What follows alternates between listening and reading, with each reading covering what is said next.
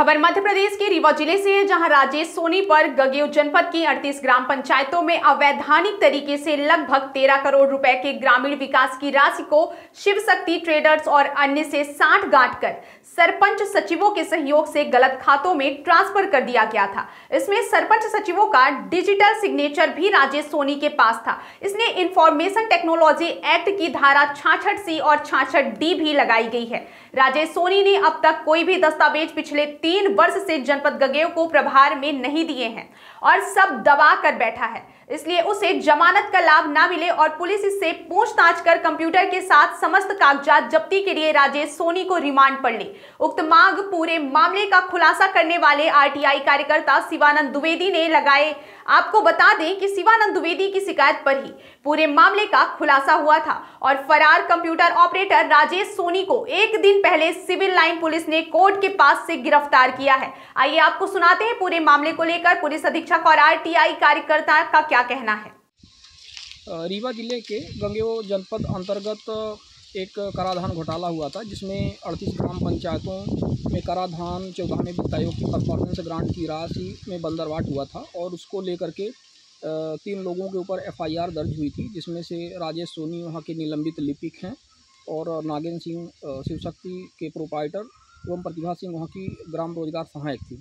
इनमें से एक प्रतिभा सिंह को गिरफ़्तार कर उन्हें चार महीने तक जेल में रखा गया था। इसके बाद उनकी जमानत हुई थी। अभी हाल ही में आ, कल दिनांक 19 जनवरी को 2023 को रीवा ज़िले में आ, ये रोज़गार केंद्र के पास में उद्योग व्यापार केंद्र है कोर्ट के पास में वहाँ पर राजेश सोनी को सिविल लाइन पुलिस के द्वारा गिरफ़्तार किया गया है।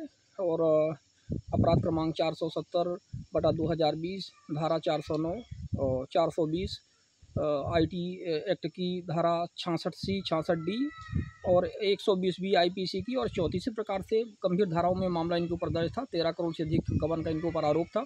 और इसमें जो एडिशनल एस पी हैं मऊगंज के, श्री विवेक लाल जी, उनका बहुत महत्वपूर्ण योगदान रहा है और उन्हीं से हमने संपर्क किया। और फिर उनके बारे में जो लोकेशन दी उन्होंने इसमें मदद की है। और इस तरह से ये महत्वपूर्ण था। साथ में सबसे बड़ी बात यह है कि आरोपी को पुलिस रिमांड में लिया जाना आवश्यक है, क्योंकि इसमें sixty six sixty six D जो आईटी एक्ट की लगी हुई है, इसमें कंप्यूटर जब्त किया जाना चाहिए, तभी उसमें सच्चाई सामने आएगी।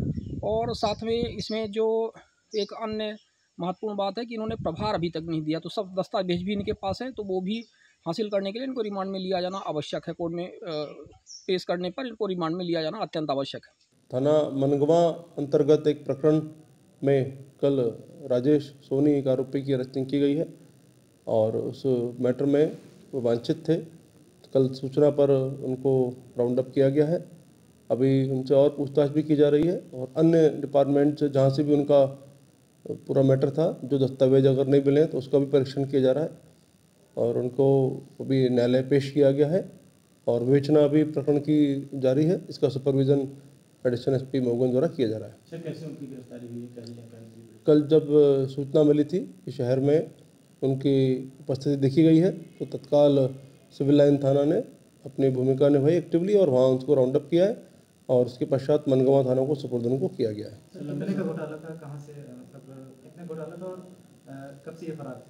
ये मैटर 2020 का है जिसमें विधिवत जाँच की गई थी जिला प्रशासन द्वारा और उनके द्वारा पत्राचार करने के पश्चात प्रकरण पंजीबद्ध किया गया था और उसके पश्चात विवेचना के दौरान अन्य इसमें आरोपियों की गिरफ्तारी की जा चुकी है। इनकी अभी गिरफ्तारी शेष थी जो कल की गई है। अभी डिटेल इनसे पूछताछ की जा रही है और उसके पश्चात ही आपको हम लोग अपडेट करेंगे। हाँ इनके ऊपर रिवार्ड भी था पाँच हज़ार रुपये का।